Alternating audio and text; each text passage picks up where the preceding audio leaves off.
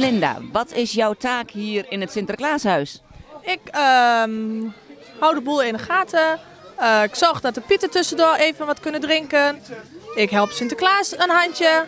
En uh, wij zorgen dat het eind van de dag het uh, huis van Sinterklaas weer mooi schoon is.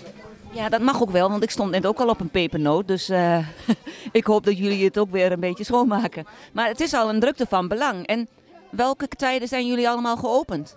Uh, het Sinterklaas is dus op woensdag open, op zaterdag en op zondag. Juist. En voor wie is het allemaal bedoeld? Niet alleen voor de kinderen, denk ik, hè? Nee, het huis is echt uh, voor iedereen die het leuk vindt om uh, even een praatje te maken met Sinterklaas. Een uh, leuke tekening te maken of even te knutselen met wat pieten. Even een dansje wagen of gewoon gezellig kletsen. Het kan allemaal bij ons. En ze mogen ook met Sinterklaas op de foto, geloof ik, hè? Ja, er wordt heel wat uh, afgeflitst op zo'n dag. En uh, dat is helemaal geen probleem. Dankjewel en heel veel plezier nog. Nou, dat zal zeker goed komen met uh, Sinterklaas en alle pieten hier. Gaat het echt goed met jou? Met jou?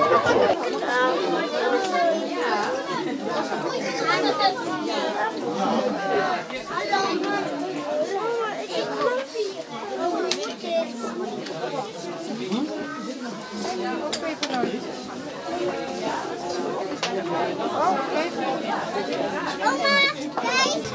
Zo. Goed zo.